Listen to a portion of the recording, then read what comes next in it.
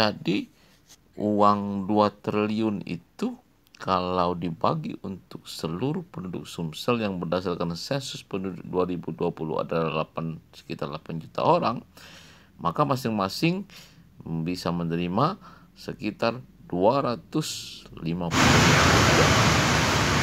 Bagaimana setuju kalau 2000 triliun kita bagikan semua warga itu Sumsel? sangat bagus tapi itu hayalan berat sekali amanah yang uang eh, jumlah uangnya segitu besar dan ini kan harus saya pertanggungjawabkan Tes swab PCR akan bisa membiayai tes 2,5 juta orang.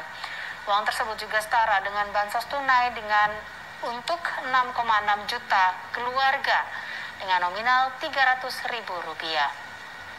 Jika digunakan Kalau kita bangunkan LRT, LRT ini satu kilometer itu berapa tadi?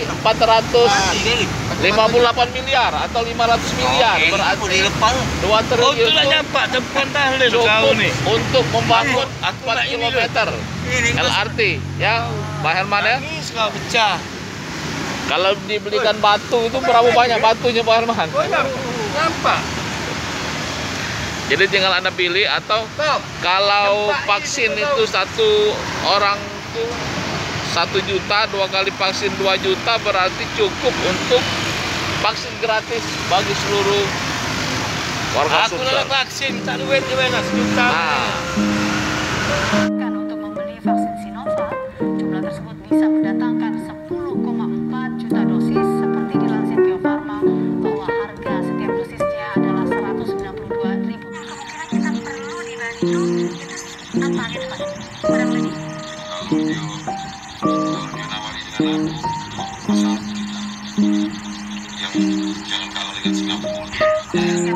untuk membangun rumah sakit berpatokan pada 400 miliar rupiah untuk rumah sakit darurat COVID di Pulau Galang. Maka akan bisa digunakan untuk membangun 5 rumah sakit.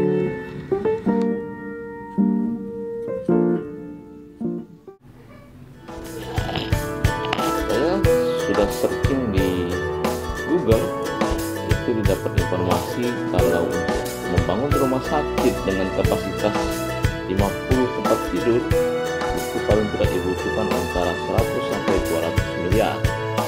Maka katakanlah 200 miliar berarti 2 triliun cukup untuk membangun 10 rumah sakit di Sumsel tapi mohon maaf ini bukan masukan. Ini hanya pendapat sebagai rakyat kecil yang penting kita doakan semoga dananya bisa segera diproses dan ditransfer. Karena saat ini masih dalam proses pentransferan dan dibahas bagaimana mekanismenya. Karena pencairan dana 2 triliun itu bukanlah hal yang mudah. Apalagi ini akan dikirim dari mungkin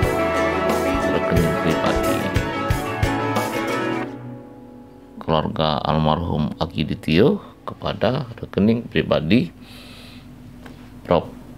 Eko Intraheri. Bagaimanapun prosesnya, yang kita harapkan adalah bisa berjalan dengan lancar, termasuk juga nanti proses penyalurannya dan juga bagaimana dana itu nanti bisa dimanfaatkan dalam penanganan COVID-19 di Sumatera Selatan. Terima kasih kepada keluarga besar almarhum Akiditio.